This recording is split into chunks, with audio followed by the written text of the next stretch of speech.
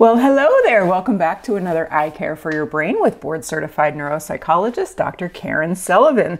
Tonight we are talking about brain fog. I'm going to give you the six most well researched causes and maybe more importantly, the sixth most evidence based recommendations. So, what is brain fog? It is actually a symptom of something else that is going on. It's an umbrella term for a group of heterogeneous experiences that have several roots psychological overwhelm, inflammation, metabolic dysfunction, nutrition, and sleep are what we're going to focus on today. The experience has a spectrum, so we can go from mental fatigue all the way up to full dissociation, not really being present in the here and now. It's a feeling of the gears grinding, not enough room at the inn, mental mud, cognitively sluggish, fuzzy. Everybody seems to have their own adjectives trying to make meaning of this very subjective experience. We can see it after both extremes of a lot of mental overstimulation, but also times of mental understimulation. It's essentially a clouding of consciousness, which results in limited cognitive function, not necessarily cognitive impairment, but it's almost like a feeling, a temporary inability to get through to the information that you want to sink your teeth into. The term brain fog actually goes back to the 1850s, but really we started to think about it in the 1880s, 1980s, 1990s when it became associated with some very specific medical conditions like chemo brain, mommy brain, autoimmune conditions, but really for a long time it was associated with chronic fatigue syndrome. Presently, I'm hearing a lot about it as it relates to long COVID. And in fact, there is a Dr. Brennan, a neuroscientist at Trinity College in Dublin, who said that the best thing to come out of COVID 19 for people with brain fog is that we now have a spotlight on it, and the scientific community is paying much more attention to it. So, brain fog is a term that means a little something different to every person who's experiencing it. There's actually no diagnostic criteria, which has made it a poorly researched phenomenon until pretty recently. But there is an agreed upon general umbrella definition, which is subjective cognitive phenomenon. Uh, of perceived dysfunction. So that's kind of a, a long winded way of talking about mental fatigue, slowed thinking, difficulty focusing, confusion, and a haziness in the thought process. But at the core of brain fog is disordered attention. That is really the issue. It's a lack of concentration that leads to the forgetfulness, to the memory complaints. This is not a memory disorder for the vast majority of people. This is a decrease in working memory. This is our ability to hold on to information long enough to act on it, to manipulate it, and to ultimately put it into memory storage. So if we are not able to really focus on the here and now, we can get behind the eight ball of information and not get it all in. So when we go to recall it as a memory, it was never learned in the first place. Brain fog can last for weeks, months, and sometimes even years. The good news is that we have definitely made progress in the scientific community, and that's what this lecture is all about. So I am going to help you understand what we think are the six most common causes and the six most helpful things that science tells us that you can do about it. So let's start with the causes.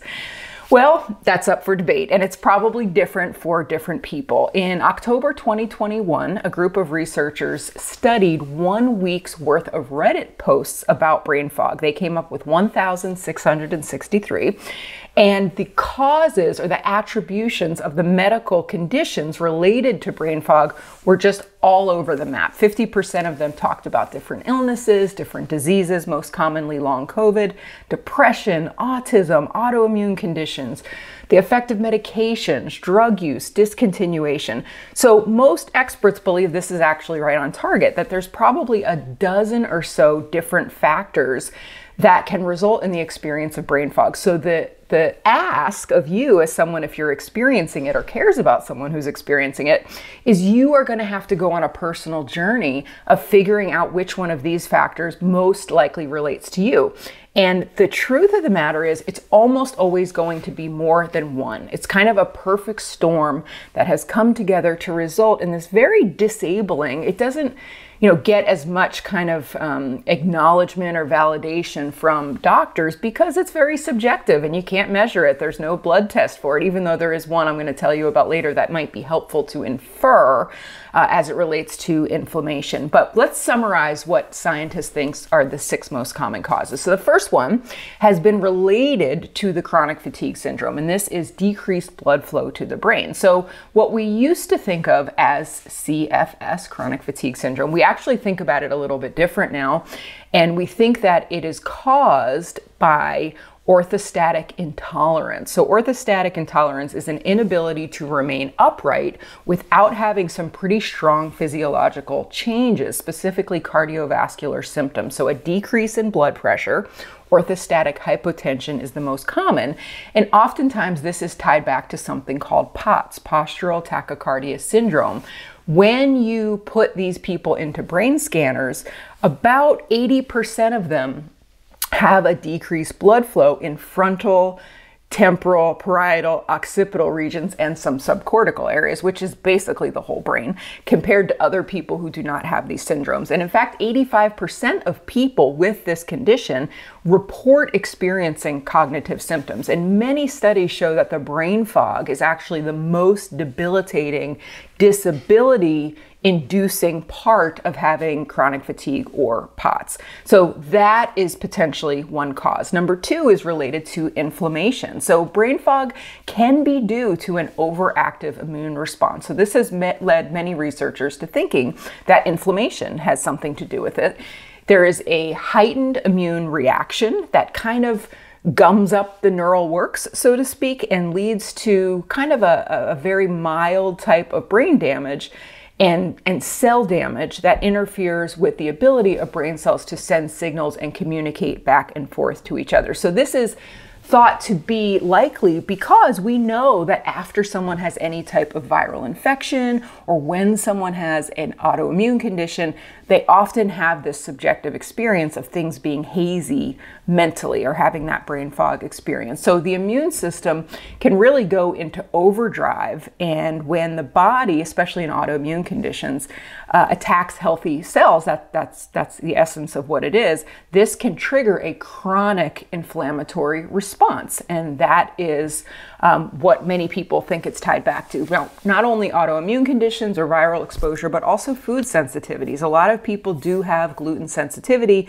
but don't necessarily know it. So, some of the scientific evidence we have for this is if you track levels of inflammation in the body, they're very highly correlated to higher complaints of brain fog. So, specifically within our brain, thinking of neuroinflammation, this can be caused by the constant activation of the hypothalamus pituitary adrenal pathway, which is essentially our fight or flight response. If we're staying in a constant state of activation, at the ready, our immune system is ready to fight anything comes in and go on the attack and get the invader this is going to lead to a constant state of inflammation. Now, for some people, it is a physical enemy that is being targeted, so a bacteria. Um, but for some of us, it's actually a psychic enemy, which gets us to number three, and this is trauma. And this is what I think is at the heart of brain fog for a lot of people. 90% of people with a trauma history report having brain fog every single day. So, trauma is essentially when more is required of you from the environment than you have the capacity to give. It's a very broad definition, but it often comes along with feelings of helplessness, uh, feeling like you're being trapped in some way, either physically being trapped by a situation or also mentally trapped with nowhere to go, no one to trust, no one to give you a safe environment to let you let your guard down.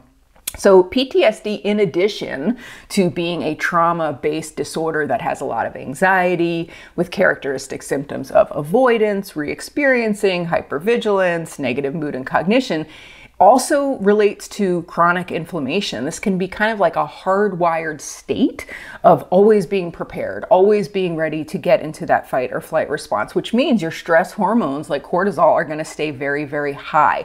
Even one dose of cortisol given to an animal or a human in a laboratory study lowers the person's attention, their ability to attend to their immediate environment.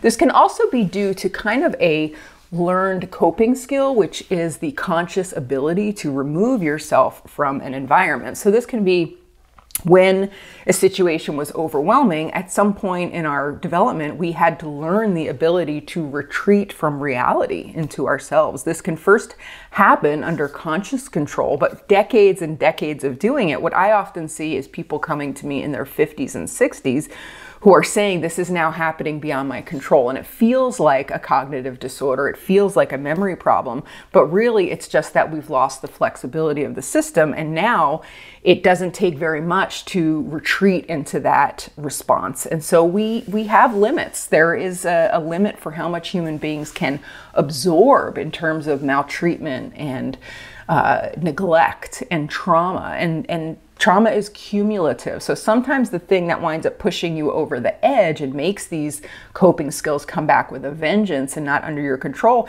isn't the worst thing that ever happened to you. Sometimes it's it just is symbolic of something that happened in the past or it just is like a final straw and and there's a certain psychic breaking point that people have which then is our opportunity to more deeply heal. Number four is metabolic deficiency. So we can think about this like uh, blood sugar, we can think about this as hormones. We can think about this like things like thyroid, estrogen, progesterone. But for most people, blood sugar actually has a lot to do with brain fog. So glucose is essential for brain cells to be able to do their job, but we have no ability to store glucose in neurons for anything more than about 10 minutes. So we need a constant supply. And for brain cells to optim- optimally function, there's a range of glucose that it wants. And when it's too low, there's symptoms. And when it's too high, there's symptoms. So anytime we're outside of this range, we are going to have the subjective experience of not being fully aware and cognizant and being able to concentrate. We also know that this can be nutritional, right? Low levels of iron have been something that is associated with long COVID. This can be hormonal. About 46% of people who came into a clinic saying they had brain fog did have clinically diagnosable hypothyroidism, and 10 to 15% of them continued to report those symptoms even when they were optimally treated with levothyroxine. We also know if estrogen or progesterone is too low or too high, this can also lead to cloudy thinking. The fifth one is sleep. Sleep deprivation in all its different flavors contributes to these slow and foggy feelings. Sleep promotes the clearance of waste from brain cells, removing the debris that can hamper neurosignaling. And many things can disrupt continuous sleep. We don't have a set amount of time that is proper sleep for the brain, but most people are going to require about eight hours. And what we're really looking for is continuous sleep where you can go through all the stages and have completion and graduate to the next level. But many things interrupt that unfolding of the sleep stages. And what happens is if you get to go back to sleep, you have to start at the front of the line. You don't get to go back into the deep sleep that maybe you were in when you woke up. Many things happen in the sleep, even if we're not in a deep sleep, it's like a super, super stage one sleep you might not have any idea what's actually getting in the way of sleep. It very commonly can be anxiety. We do a great job of avoiding things during the day, but at night when our head hits the pillow, it's like, gosh, it's so vivid, it's so real, and our coping skills are at their worst because we're tired from the day. Many people have sleep apnea and have no idea that when they get into deep REM sleep, they actually stop breathing and, and have an alarm system go off in their brain, and they're all night long, dozens, if not hundreds of times, waking up from that deep restorative sleep. Many, many things can interfere with sleep. It's always a really important thing to look at. And the sixth one is medications. This is something neuropsychologists always take a good look at because many common medications, the way they work is through inhibition by depressing signals in the brain. So when I see a patient, I'm always looking at their medication list if they have complaints of brain fog for benzodiazepines, beta blockers, painkillers, the most common ones that would cause me to pause are gabapentin, Xanax, Klonopin, Valium, Ambien, amitriptyline, nortriptyline, and also anti-seizure drugs, so Lamictal, Keppra, Lyrica, Topamax, especially over 100 milligrams, and finally pain medications. I've been seeing a significant increase in patients on morphine recently, and they come in saying they can't think clearly and their memory stinks and it's related to the drugs. It's not an easy fix though, because chronic pain, guess what? Also can cause brain fog. So it's just a matter of being aware so you can advocate for your very best care. And the final one is antihistamines. This tends to be more of the first generation. So Benadryl, Vistaril, things like Claritin, Zyrtec, they don't have the same risks to cognition, but the early antihistamines really inhibit the action of something called acetylcholine in the brain, which is essential for activation and the ability to learn new information. Now, here's the thing it might not just be one medication that is the culprit, it can be the cumulative effect of multiple medications. This becomes more of a concern as we get older and older. So, if you are over the age of 65 and you take more than five medications, you are at high risk for polypharmacy and medication related cognitive changes. In part, this is because we get prescribed more medications as we get older, but also our liver and our kidneys undergo significant aging and they're not as optimally functioning as they once were. And we also tend to lose muscle mass, which means that the, the medications we're at our core a little bit more dehydrated and they just become more potent. So, a lot of times when people are lucky enough to see a geriatrician, they wind up good, going down in their milligrams of medications because as we age, we know that they just become more powerful, less becomes more.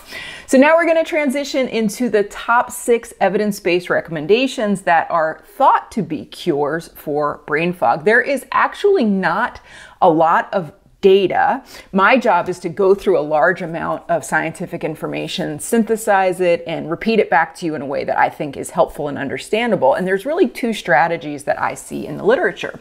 The first one is a multidisciplinary approach that increases overall wellness, and I'm going to tell you exactly what that is and simultaneously researching and optimally treating any underlying medical conditions that I had talked about at the beginning of the lecture.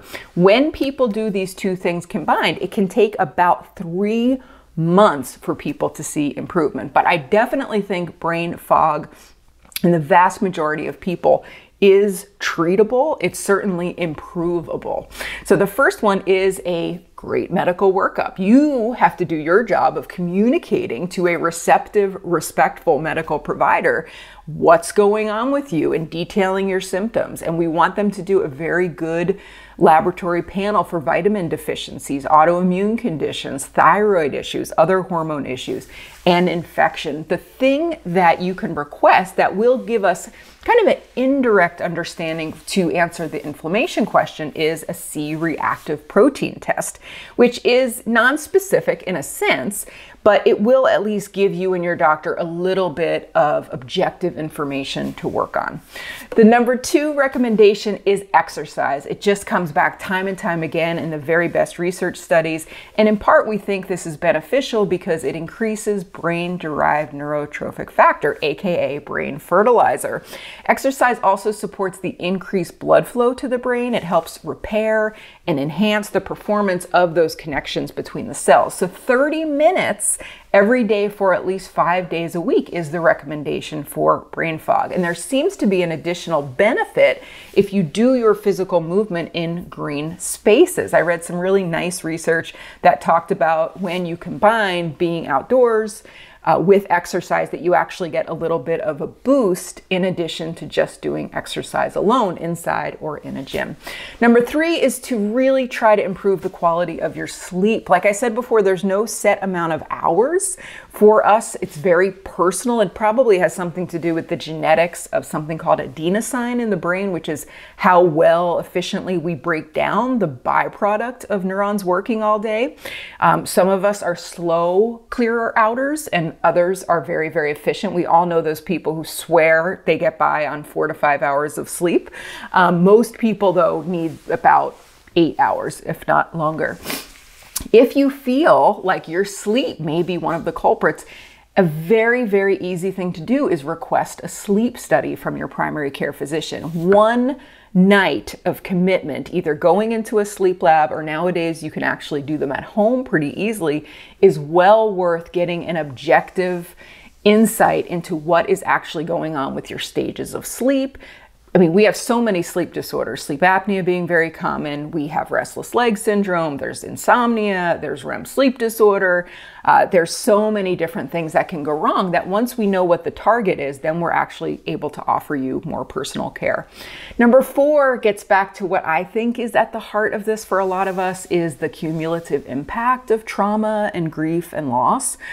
Like I said before, we can spend a lot of time suppressing because we don't have the ability to handle thoughts, memories, emotions, images, anger, guilt, grudges that we don't have the bandwidth to process directly, uh, and we might not even be aware of how much of our vital cognitive energy is going to keeping these things status quo on the inside. We may not have any room in our brain to process anything else. There is this new concept of mental clutter that I think is very, very helpful as a metaphor for kind of poorly processed, unresolved traumatic life experiences. They build up and they take up space and they are cloaked. We may not really know what they're all about, but they are existing and needing some attention to stay calm. And it takes up very important cognitive real estate. So, talking about what's happened to you in a safe place with a trauma informed therapist can release that energy to open you up to have more space to focus on the here and now. When you do that, your internal world becomes more organized. And that's really at the heart of what I think brain fog is for a lot of us is a disorganized mental space. So, when we become more integrated with our trauma and our current life, we become more organized, less chaotic internally, and we're freed up to actually have more focus. Number five is stabilizing our metabolic health, focusing on blood sugar. So, reactive hypoglycemia is a drop in blood sugar that happens about four hours after we eat. And it's very much associated in laboratory studies with confusion and lightheadedness. We also want to make sure we're really uh, getting our brain vitamins. So, all of the B vitamins, when they're even just a little bit low, have been shown to contribute to brain fog.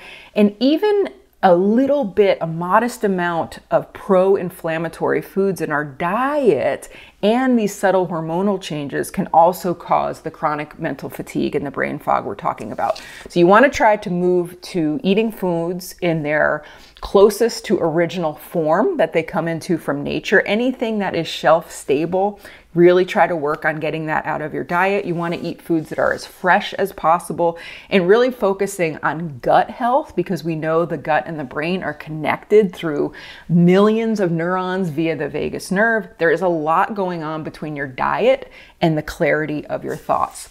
Number six is cognitive rehab. This is actually an underutilized treatment option for people with significant cognitive symptoms. So, this can be provided by a neuropsychologist, occupational therapist, or a speech and language pathologist. It starts off with an assessment that identifies exactly where the cognitive deficit is happening, and then targeted interventions can go into helping you learn how to compensate, learn how to cope, how to set realistic goals how to help manage expectations. Many of us may also have a disconnect between what we think is a productive day and what we're actually capable of. Many of us tend to go, go, go, go, go uh, until the point where we actually exhaust ourselves, and then we need kind of a catch up period of restoration, which creates this really bad cycle of never being fully present. You're either like hyper focusing and burning yourself out, or you're totally underactivated and you're not able to take anything in. So, what we recommend is for every two hours of intense work, you take at least a 20 minute break to do the opposite action. So, if you're sitting, we want you up. If you're at a screen, we want you looking at a big vista. If you're stressed, we want you doing some deep breathing. You want to try to do the opposite physiological reaction. In closing, I want you to do your part in communicating to your medical team what's going on with you. You are absolutely worth it. The more you know from science based lectures like this, the more you can go in on an even playing field and advocate for yourself to get the workup and the treatment that you need. Finally, I want to say please be easy on yourself if this is something that you're going through. This is an extremely challenging uh, modern life that we're living. It's a challenging time of year. And brain fog requires a lot of self compassion. We are a society of doers, accomplishers. There is a place for that, but at the end of the day, we are also human beings. You probably heard that before.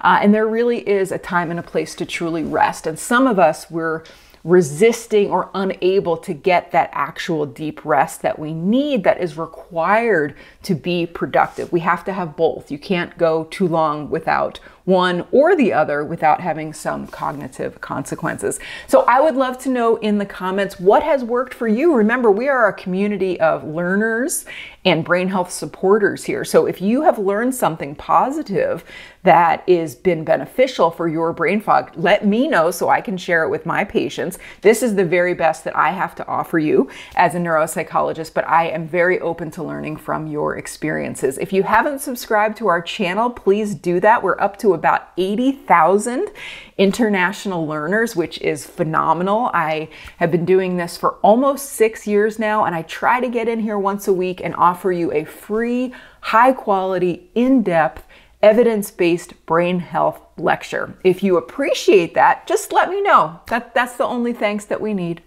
Take care, everybody, and I'll see you next time. Bye.